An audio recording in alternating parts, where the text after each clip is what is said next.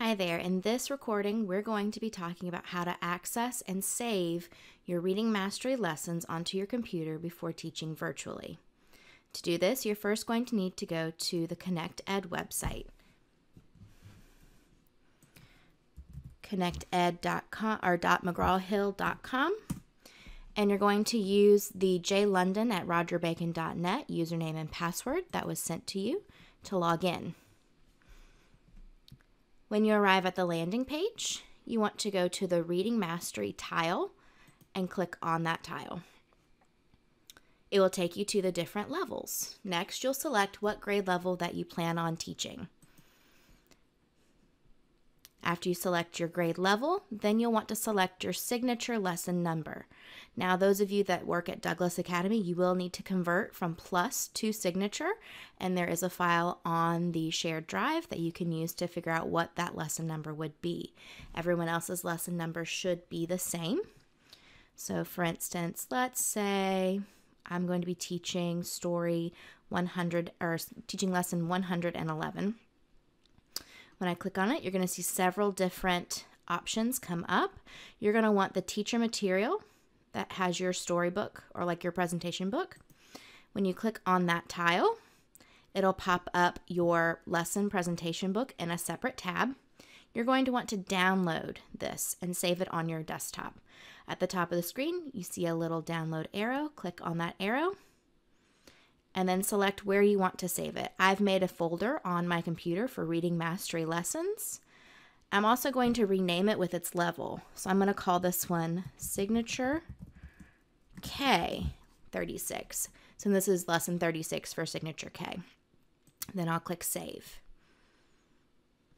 Now if I exit out of this tab and I pull up that folder, You'll see here signature K36 is now saved onto my computer and I do not need to be logged in. I can use this PDF directly from my computer. Now, another thing you're going to need to download is your stories for the lessons. So to access your storybook, go back to the Browse at the top menu to bring you back to all your levels. And you're going to want to go to the Resource Library tile. In the menu under Resource Library on the left, go to Additional Resources at the bottom. On the bottom, you'll see Student eBooks.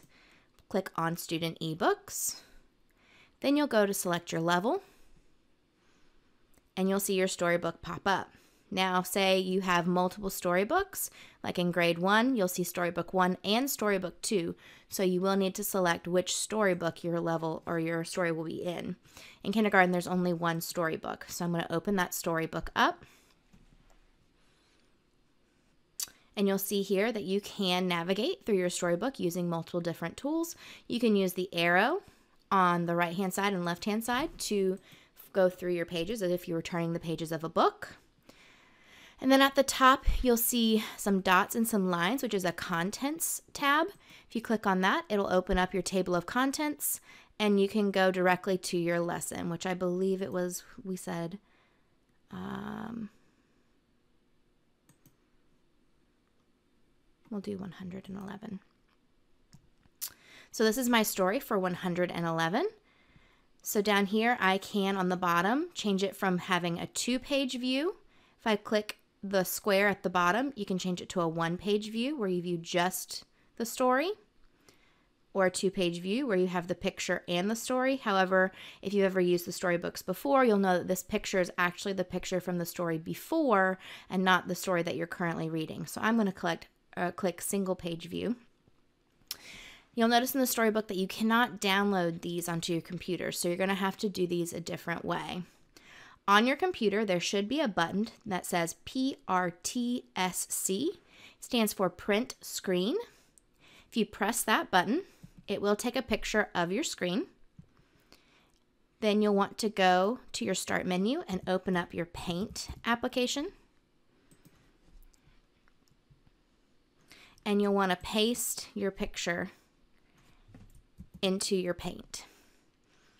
So you'll see here now I have a picture of the storybook and then I'll want to save that file, save as a JPEG picture in my same folder. And then I'll want to name that signature case 9 or 111 story.